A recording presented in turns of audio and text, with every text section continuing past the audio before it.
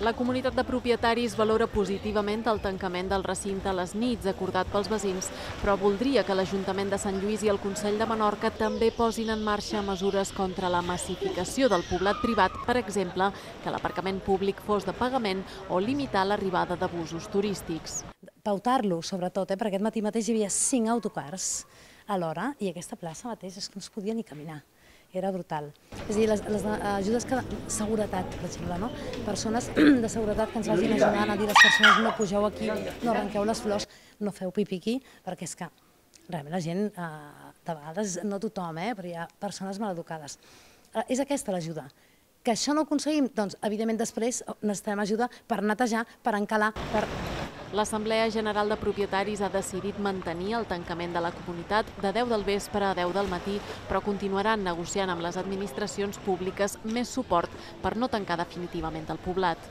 Pero hemos visto el cartel con las restricciones y sinceramente como turista no le hemos hecho ni caso. Hemos pasado para adelante sin mirar a dónde. No me gustaría quedarme aquí, para ser honesto, porque hay mucho ruido, ¿no?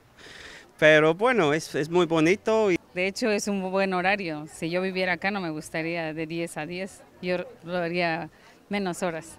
Properament, la comunitat haurà d'escometre obres per renovar infraestructures d'aquesta emblemàtica postal menorquina que compleix 60 anys d'història. Els propietaris apunten la massificació com la principal causa de la degradació de la urbanització.